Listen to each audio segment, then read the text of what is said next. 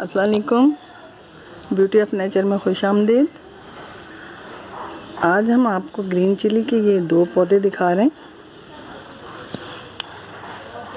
ये इसे देखिए।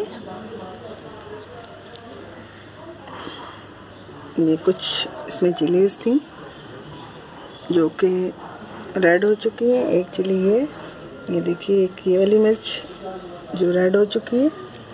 और इसमें दो तरह के पौधे हैं। ये गोल मिर्च है और ये आम मिर्चें जो लंबी वाली मिर्चें होती हैं, ये वो हैं।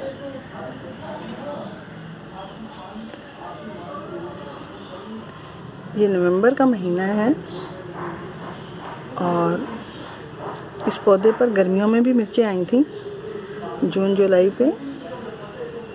जून जुलाई के महीने में इस पर काफ़ी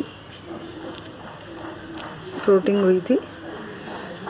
फिर इस पर कीड़ों का अटैक हो गया था, जिसकी वजह से तमाम फ्लावर गिर गए थे।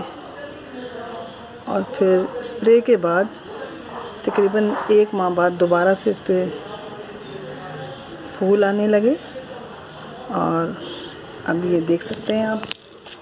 इसमें से मैंने काफ़ी हार्वेस्टिंग भी की है। ऐसा ही एक दूसरा पौधा ये है। इस पर भी ये तीसरी मरतबा मिर्चें आ रही हैं। ये आप देख सकते हैं।